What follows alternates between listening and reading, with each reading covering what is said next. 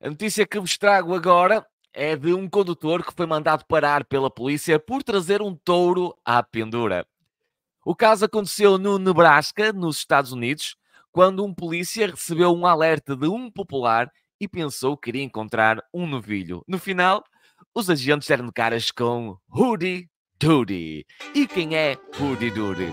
Ora bem, quando a chamada de um popular preocupado chegou à central da polícia do Nebraska, nos Estados Unidos, descrevendo como um carro circulava na via pública com um pendura da família dos bovinos, os agentes pensaram que iriam encontrar, no máximo, um novilho. Um tourinho mais pequenino, vá. A surpresa acabou por ser maior do que pensavam em todos os sentidos. Os polícias depressa avistaram Uri Judy, um touro com dimensões capazes de impor respeito, dentro de um Ford Crown Victoria que fora modificado para conseguir transportar o animal. Muito inteligente este dono. O tejadilho foi cortado e uma grade colocada de lado, como é possível ver também nas imagens.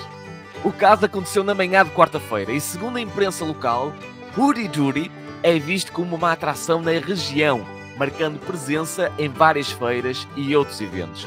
Uma celebridade, portanto. O condutor foi mandado parar, alvo de uma fiscalização, mas acabou por seguir viagem, com a polícia a recomendar-lhe especial atenção à estrada. O que não vale ter um touro bem conhecido na região, com aqueles cornos também é fácil de ser reconhecido. Malta, subscrevam aí o nosso canal Rádio Portuense, ativem as notificações e continuem ligados na Voz da Invicta. Até já!